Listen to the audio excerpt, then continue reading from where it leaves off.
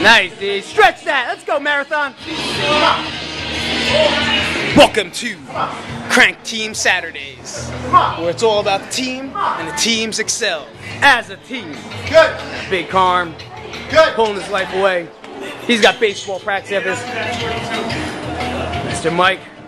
There you go. Control that hip, stay tight, nice Lise.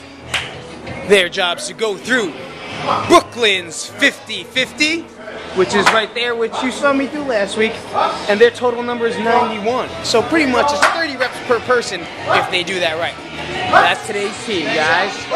We're going through each one, really putting the team aspect and the concept. The winners get Chipotle gift certificates. Damn, I'm cool.